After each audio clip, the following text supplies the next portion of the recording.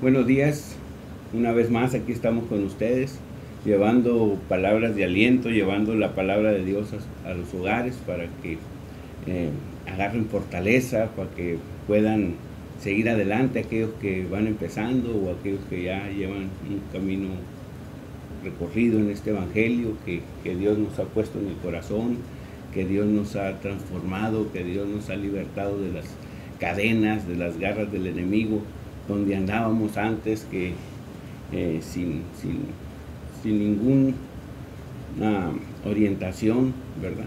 Ahora que venimos a los pies de Cristo, pues tenemos una vida diferente, una vida llena de esperanza, una vida llena de, gozo, de paz, de, gratitud hacia Dios, porque Él nos ha cambiado, Él nos ha transformado de aquellas personas que éramos desastrosas, unas personas que, no, no, teníamos temor de los mandamientos de Dios, no teníamos temor de, las cosas que hacíamos, todo era a beneficio de nosotros, hacíamos las cosas para, para agradarnos a nosotros nomás, ¿verdad?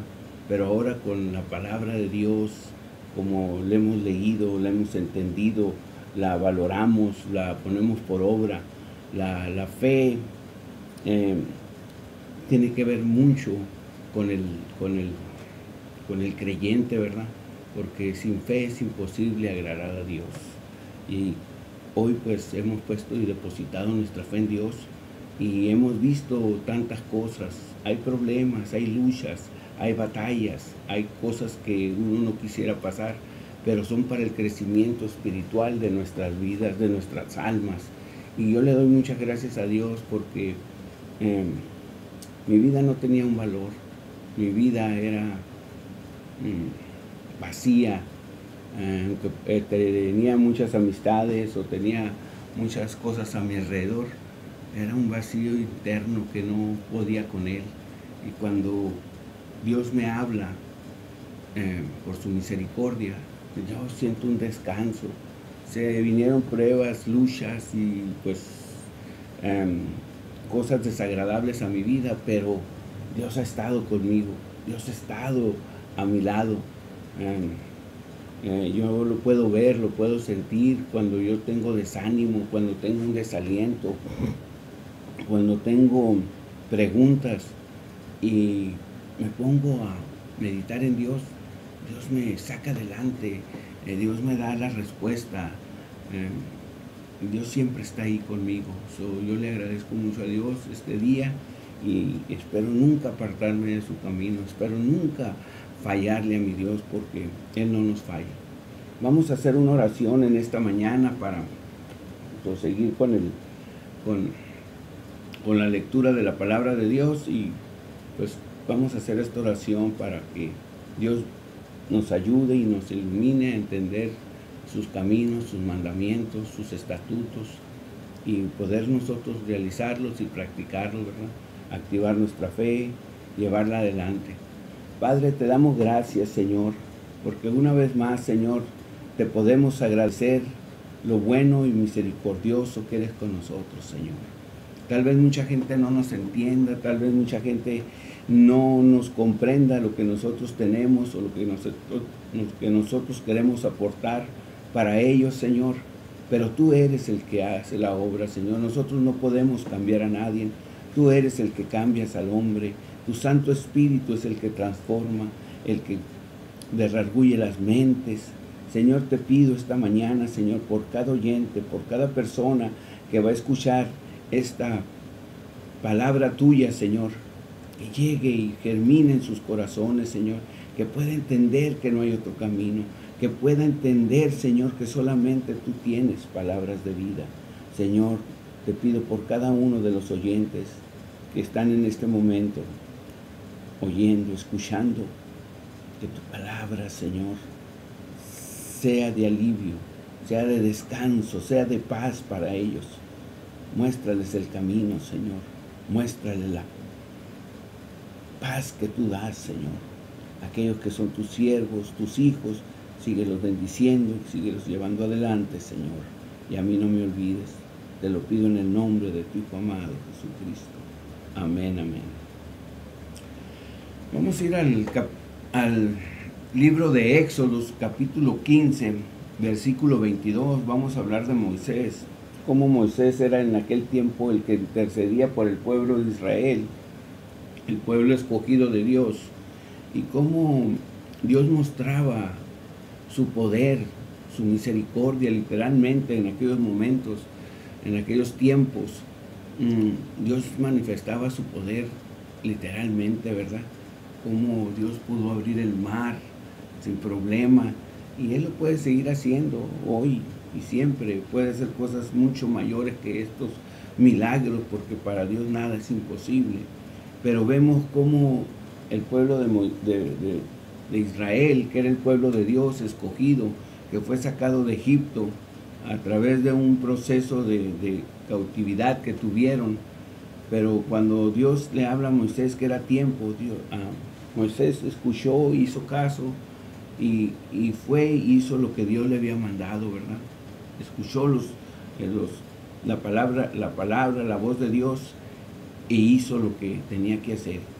Y aquí vemos que Moisés ya habían pasado unos milagros, de cruzar el Mar Rojo y se encontraron en esta situación que dice el versículo 22 del capítulo 15 de Éxodo, dice, e hizo Moisés que partiese Israel del Mar Rojo y salieron al desierto de Sur y anduvieron tres días por el desierto sin hallar agua. Y llegaron a Mara y no pudieron beber las aguas de Mara porque eran amargas pero eso le por eso le pusieron el nombre de Mara, que quiere decir amargura. Entonces el pueblo murmuró contra Moisés y dijo, ¿qué hemos de beber? Y Moisés clamó a Jehová, y Jehová le mostró un árbol, y lo echó en las aguas, y las aguas se endulzaron. Y ahí les dio estatutos y ordenanzas, y allí lo probó. Y ahí los probó. Y dijo, si oyeres atentamente la voz de Jehová tu Dios, e hicieres lo recto delante de sus ojos, y dieres oído a sus mandamientos, y guardares todos sus estatutos, y ninguna estatuto, ninguna enfermedad de las que envié a los egipcios, te enviaré a ti, porque yo soy Jehová tu sanador. Qué bonito, ¿verdad? Las promesas de Dios y lo que Dios hace.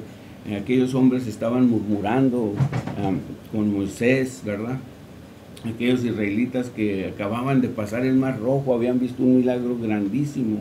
Venían los egipcios a matar a los israelitas o a llevar los cautivos otra vez a, a Egipto, después de que los habían dejado libres. Y aquí ya habían cruzado el Mar Rojo y ahora se encontraban desesperados porque eh, no había agua que beber, pero no porque no hubiera agua, porque ellos eh, sabían, bueno, más que todo Moisés sabía que Dios podía dar agua en cualquier momento, ¿verdad? Pero los israelitas no. Los israelitas eh, dudaban, del poder de Dios, todavía viendo cómo Dios había abierto el mar rojo.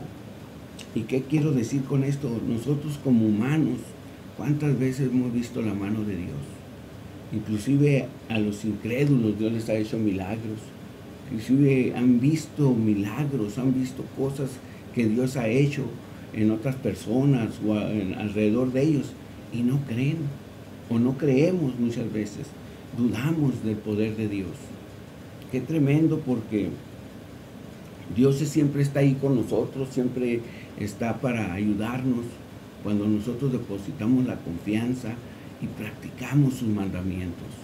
Pero cuando no los hacemos, pues nos cae como esta agua amarga que dice que trataron de beber ellos y era un agua amarga que no se podía beber y rezongaron y pusieron a, Moisés siempre contra la espada y la pared de de comenzarlo a, presionar, ¿verdad?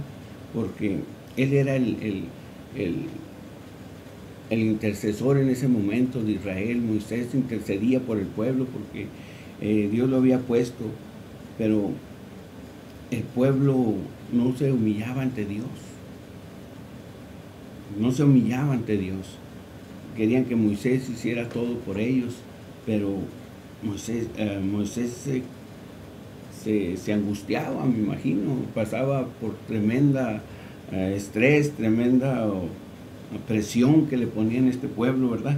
Pero él confiaba en Dios, él confiaba en Dios y Dios lo tenía como un siervo um, honorable, un siervo obediente, ¿verdad? Que él hacía todo conforme a las cosas de Dios, por eso Dios le daba este, estos autoridad, ¿verdad? O, o Dios hacía milagros a través de Moisés. Dice, entonces el pueblo murmuró, dice el, el versículo 24, dice, entonces el pueblo murmuró contra Moisés y dijo, ¿qué hemos de beber? Y Moisés clamó a Jehová y le mostró un árbol y lo echó en las aguas y las aguas se, endulzaron y ahí les dio estatutos y ordenanzas y ahí los probó. Nosotros qué tenemos que hacer? Fíjate, aquí está hablando Jehová con Moisés y le dice, mira esa rama, mira ese árbol, échalo a, las aguas para que se, hagan dulces. Y Moisés obedeció. Moisés hizo caso. Y, y las aguas se endulzaron, dice, eran amargas y las aguas se endulzaron.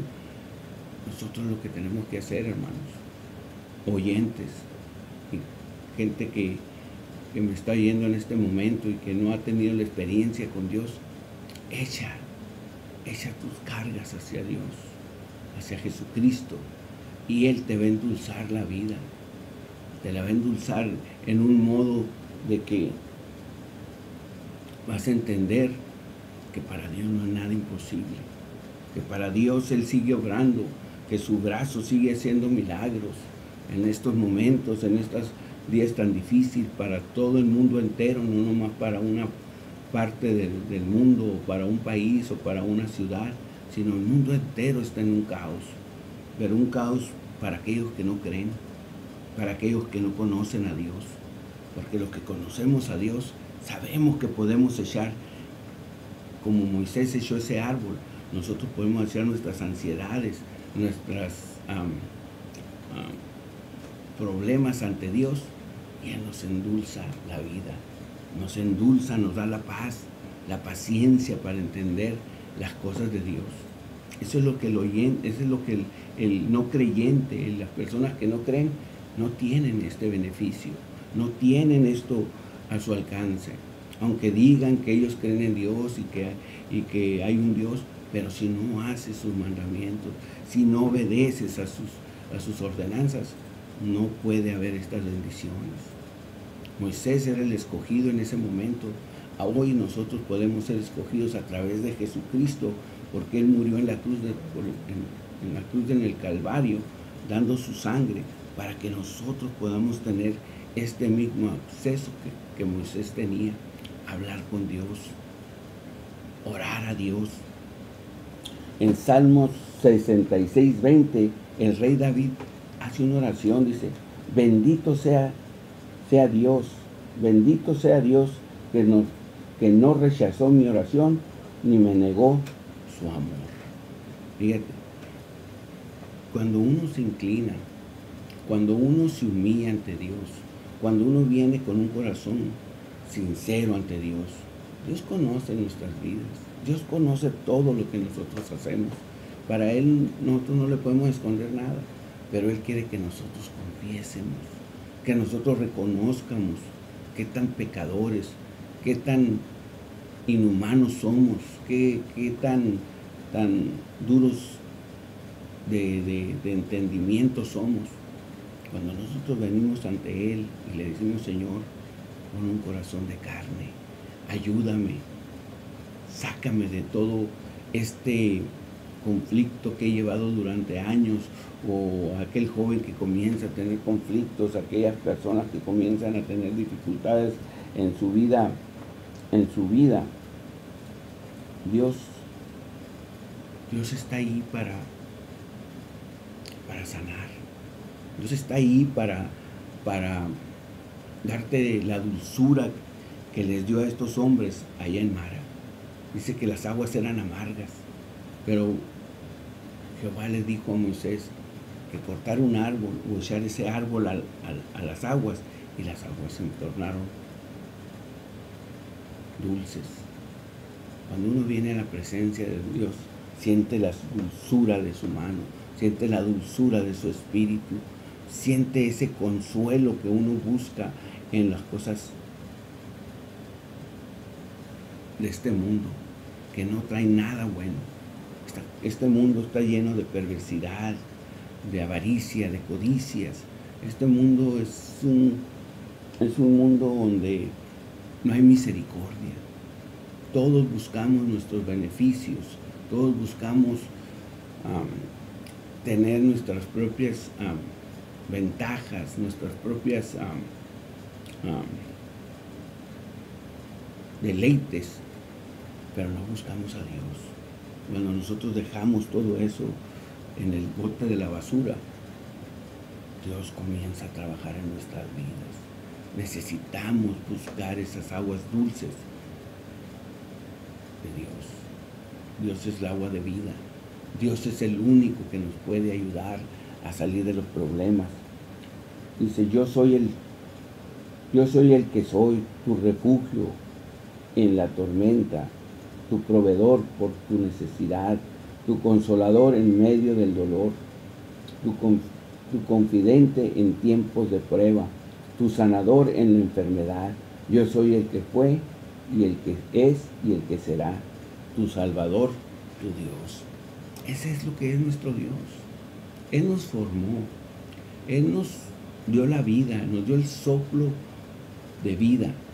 Entonces nosotros nos tenemos que alinear a Él. Nosotros nos tenemos que acercar a Él. Él ya hizo su parte, una parte muy grande, una cosa que no tiene precio, un amor eterno que Él nos tiene, un amor incomparable, de dar su Hijo amado, de dar a su propio Hijo para que nosotros pudiéramos alcanzar la salvación, alcanzar las aguas dulces.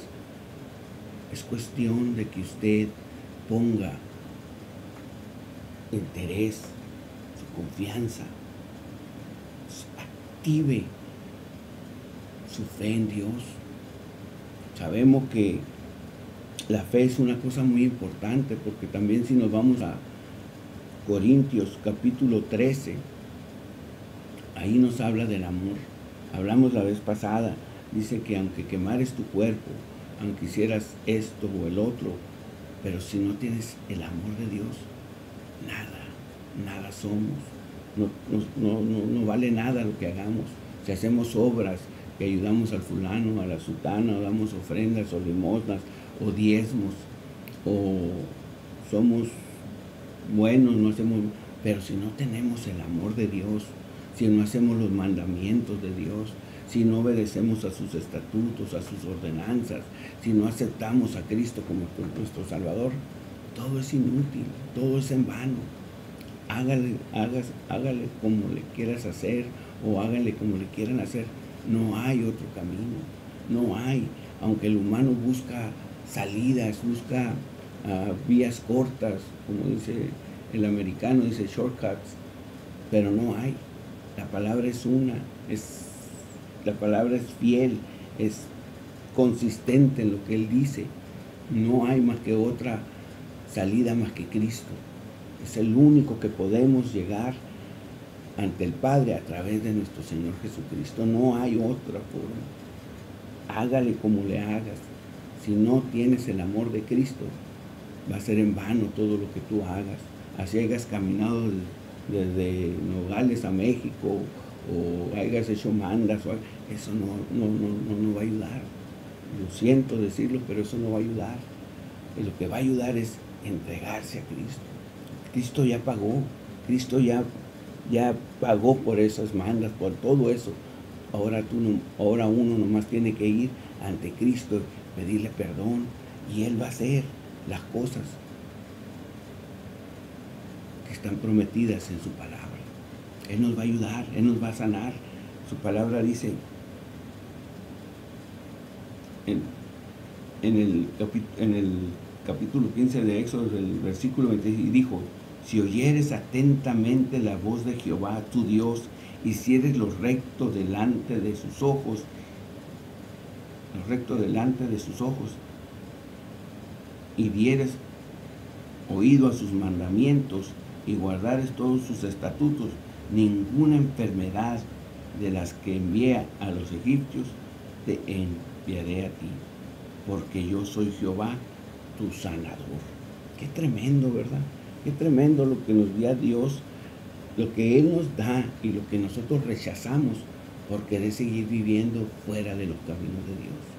Nosotros mismos nos vamos a las aguas amargas, nosotros mismos nos, nos llenamos de, de, de enfermedades por no querer aceptar las condiciones de nuestro Dios, que son fáciles, la carga es ligera, dice, yo la puedo llevar por ti, echa todo sobre mí, yo, yo haré, yo te sanaré. Él hace todo por nosotros. Nosotros tenemos que confiar, tenemos que depositar nuestra confianza en Él, porque solamente Él tiene el poder para, para sanarnos, para salvarnos, ya nos dio el regalo más hermoso que cualquier humano puede recibir a nuestro Señor Jesucristo y es nuestro el que intercede por nosotros ante el Padre. No hay otro intercedor. Es el que murió en la cruz.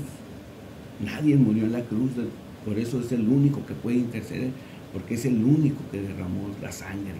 Es el único que puede perdonar pecados. No hay otro, nadie más que pueda perdonar pecados, más que solo Jesucristo. Tenemos que entender, por eso hay que leer la palabra de Dios para que no nos engañen para que no nos vengan y nos cuenten que hay otros salvadores o hay otros que pueden interceder por, nosotros. En la Biblia no hay otro más que puede interceder, más que Jesucristo. Nosotros como humanos, como siervos de Dios, podemos orar por peticiones cuando estamos vivos. Podemos orar por, la gente enferma y poder pedirle a, nuestro Señor Jesucristo que Él interceda por esas enfermedades o por esos... Mm, problemas que hay en las familias, en, la humanidad. Eso, pero tenemos que ir ante Cristo. Si nosotros oramos, nosotros tenemos que ir ante Cristo, no más. No podemos ir ante nadie más. Moisés, él, aquí vemos que Jehová era el que lo guiaba. Jehová, no otro. No había otro más que Jehová el que daba los milagros, el que los hacía pasar por, por el agua, por los mares, abría el mar, abría los ríos, paraba el sol. ¿Para qué? Para que su pueblo siguiera adelante a la tierra prometida. Así nosotros hoy tenemos a nuestro Señor Jesucristo, que Él hace todo a nuestro favor para que nosotros podamos llegar a la vida eterna. No dejes la oportunidad. Si estás oyendo este mensaje hoy, tú que eh, tienes dudas, ponte a leer la palabra. O échame una llamada si tú crees que puedes hoy entregar tu vida a Cristo. Ahí donde estás, ahí híncate. Pídele a Dios por tu, por tu alma, porque tu alma es lo más valioso que tú tienes. Es lo que tú vas a salvar. Esa alma un día va a estar para sufrimiento o para vida eterna con Jesucristo en su reino. No dejes pasar más el tiempo. Yo te lo suplico te lo, te lo imploro si quieres, porque Jesucristo ya murió en la cruz, ya derramó la sangre por ti, por mí, para poder tener ese acceso. No te tengas más otro día. los días no están contados, los días no son comprados por nosotros. Hay tiempo para Dios que se llegue el límite para cada humano. Entonces, ¿en qué tiempo vas a estar tú? En qué amargura vas a quedar o en qué dulzura. En la amargura que aquellos hombres llegaron y encontraron o en la dulzura cuando Moisés echa aquel árbol y se tornan las aguas en dulzura. Dios puede tornar hoy tu vida en dulzura. Dios hoy puede tornar tu vida en alguien que sea beneficio para tu familia, aquella familia que está destrozada por las drogas, que esto ahorita es lo que está contaminando la corrupción al mundo entero, ¿verdad? Las drogas están mm, tremendas ahorita, no, no, nadie las para, ni los gobiernos, inclusive los gobiernos trabajan con las drogas, es una corrupción tremenda que hay y están nuestras vidas en esa situación o estuvieron en esa situación, pero Dios te puede sacar de ellas. Dios te puede sacar de cualquier problema financiero, de enfermedad, de angustia, de soledad. Hay una esperanza. Siempre digo que es mejor una esperanza con fin que un fin sin esperanza. Dios está aquí, hermanos. Dios está ahí donde estás tú, en todo lugar. Nosotros oramos por cada persona que nos habla. ¿Para qué? Para que ellos puedan ser restaurados. O por una petición de una oración de un hijo, de una hija, o de un padre, o de una madre, qué sé yo, de cualquier situación que te encuentres. Habla para oración y nosotros estaremos orando por ti. O tú mismo ahí, híncate ante Dios y pídele guianza y Él te la dará, Él te escuchará. Dice, voy a leer otra vez el Salmo 66, versículo 20, dice, bendito sea Dios que no rechazó mi oración ni me negó su amor. Qué tremendo, ¿verdad? Vamos a ir a, a Ezequiel 36. Ezequiel 36.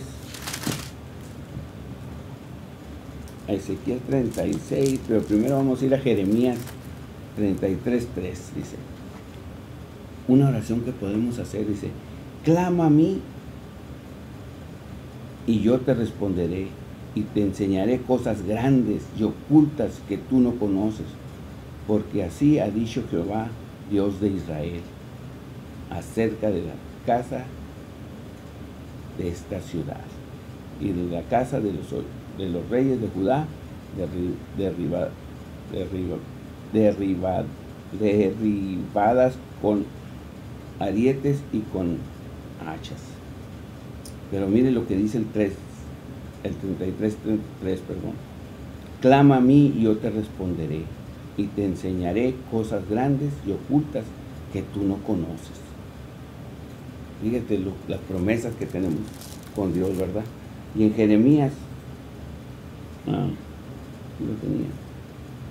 tenía. Ah, ah, perdón, Ezequiel 36, 26 dice, os daré un corazón nuevo y pondré un espíritu nuevo dentro de vosotros y quitaré de, de vuestra carne el corazón de piedra y os daré un corazón de carne. Qué tremendo, ¿verdad? Lo voy a volver a leer. Ezequiel 36, 26. Os daré un corazón nuevo y pondré un espíritu nuevo dentro de vosotros y quitaré de vuestra carne el corazón de piedra y os daré un corazón de carne. Fíjense cómo nos compara que tenemos un corazón de piedra. Cuando Él nos pone el corazón de carne, es cuando nosotros comenzamos a entender las palabras de Dios. Intentamos entender que solamente a Él debemos de servir y solamente a Él debemos de alabar y a Él solamente le podemos dar la honra y la gloria porque Él merece todo. Hermanos, esto es todo por hoy. Espero que la palabra de Dios llegue, mediten en ella, busquen las aguas dulces, no las amargas.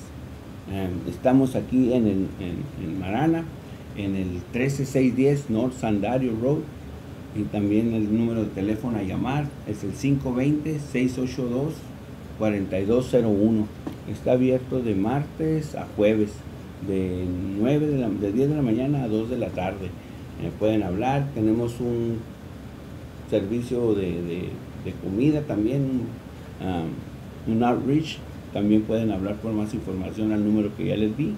Y también pueden hablar al número 520-250-1673. Ese es mi número, Sergio Ábalos. Pueden llamarme cuando gusten eh, los atenderé si necesitan oración o platicar o hablar de la palabra de Dios. podemos hacerlo. Mm, estoy a sus servicios y pues eso es todo por hoy. Dios los bendiga en este 4 de julio que celebran la, aquí en Estados Unidos, pues cuídense, eh, apártense del mal y, y sigan adelante. Dios los bendiga. Amén, amén, amén.